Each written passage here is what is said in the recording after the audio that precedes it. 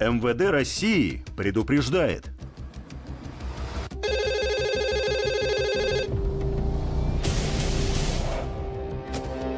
Если по телефону неизвестные сообщают о том, что ваш родственник попал в беду, о несуществующей болезни, о выигранном призе или победе в лотерее, о положенной пенсии или надбавке к пенсии, о снятии с вашего счета или карты денег, если неизвестный под указанными предлогами просит сообщить ему данные вашей банковской карты или произвести перевод денег – не сообщайте неизвестным никакие данные вашей банковской карты.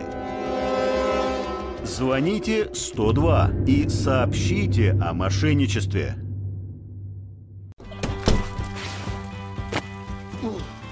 Весь день собирался заехать в налоговую, сдать декларацию. И не успел. Интернет? Представляйте декларацию о доходах физических лиц в электронном виде через личный кабинет не позднее 30 апреля. Быстро, просто. И удобно.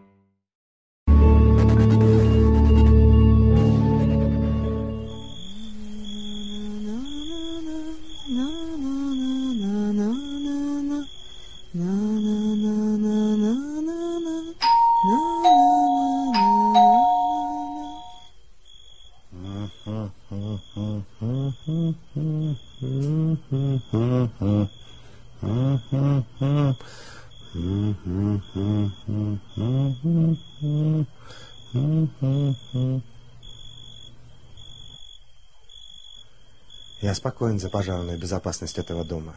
Здесь установлены звуковые датчики дыма. Могу я быть спокоен и за ваш дом. Автономный дымовой пожарный извещатель защитит вашу семью от пожара. Спрашивайте в специализированных магазинах города.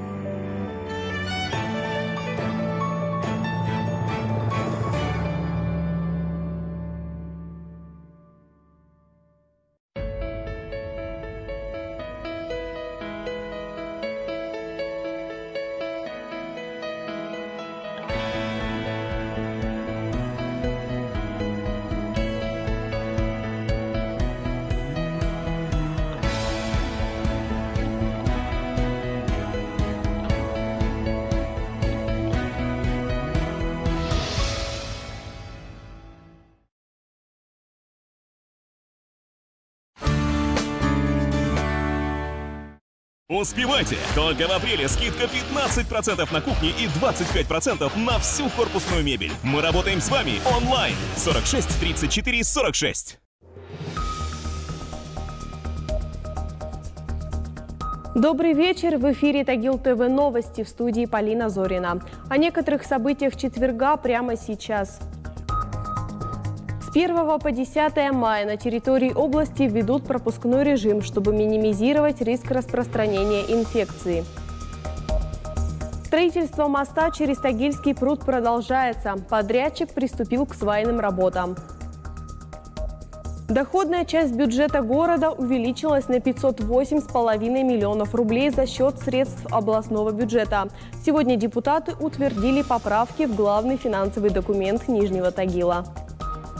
В России выявлено еще 4774 новых случая заражения коронавирусом. Из них 28 на Среднем Урале. Медики Головного центра гигиены и эпидемиологии подтвердили вирус у жителей Екатеринбурга, Белоярского района, Асбеста, Первоуральска, Серова, Ревды и Верхотурья. В Нижнем Тагиле новых случаев не выявлено. Таким образом, в регионе на сегодня лабораторно подтвержден 271 случай коронавирусной инфекции. Состояние 17 пациентов оценивается как тяжелое, 6 из них на аппаратах искусственной вентиляции легких.